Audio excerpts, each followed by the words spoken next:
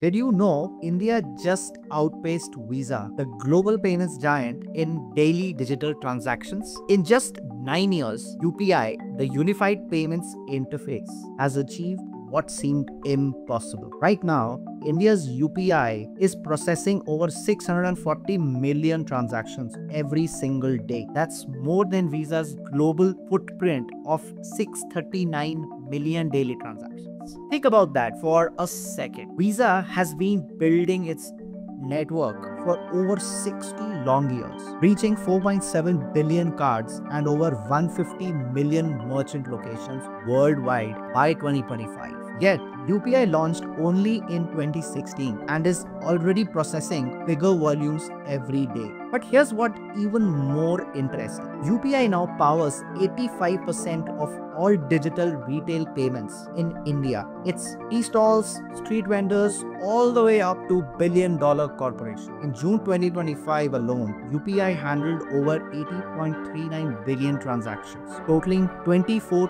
trillion rupees. That's a 32% jump year over year. Unstoppable momentum. And UPI isn't just an Indian story. It's being adopted internationally and in countries like UAE, Singapore, and Mauritius.